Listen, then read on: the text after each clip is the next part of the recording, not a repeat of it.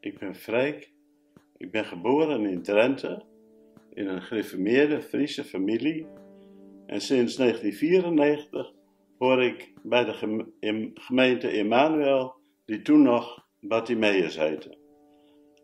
Ik mag ook zeggen met de Bijbel, wat geen oog heeft gezien en wat geen oor heeft gehoord, al wat God heeft gegeven aan die die in Hem geloven.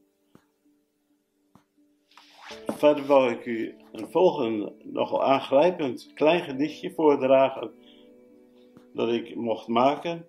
Dat heet De Heer, het bloed van Jezus.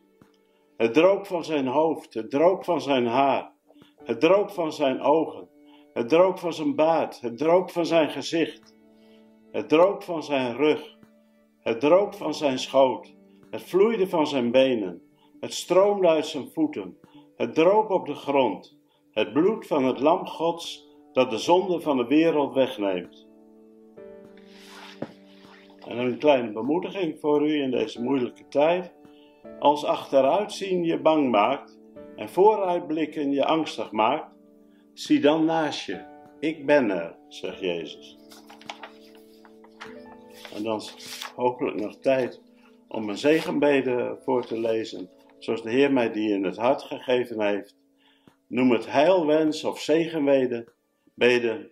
De Heer Jezus geven jou de barmhartigheid van zijn ogen, de sierlijke kroon van zijn gedachten, de kracht van zijn woorden, het luisteren van zijn oren, de liefde van zijn hart, de wijsheid van zijn mond, de troost van zijn lippen, het verstand van zijn tong, de vrijheid door zijn offer, de heiligheid van zijn geest, de reinheid van zijn handen, de volheid door zijn kruisiging, de vastberadenheid van zijn voeten, het geheim van zijn aanwezigheid, de majesteit van zijn persoon, de verlossing en verzoening door zijn bloed, de godvrucht van zijn werken, de genezing door zijn striemen, de vreugde van zijn ziel, de vrede van zijn karakter, de veiligheid onder zijn vleugels,